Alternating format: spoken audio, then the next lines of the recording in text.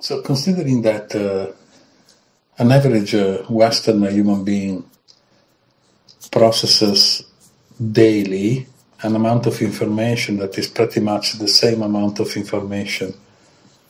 a person living in the Middle Age used to process throughout a lifetime, considering the amount of information we develop into our heads on a daily basis, and by the way, processed quite uh, badly most of it, not to mention the rubbish.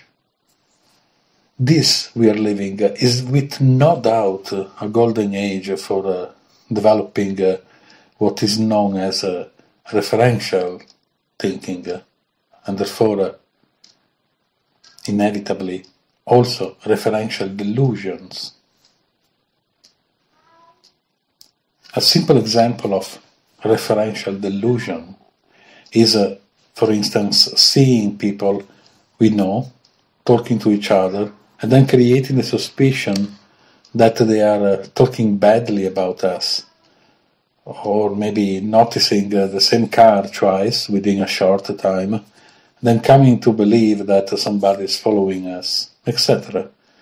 We are super prone to referential delusions, even without being uh, mentally ill, of course, on a daily basis. Therefore, taking care of our ability to hold, uh, retain deductive thinking, uh,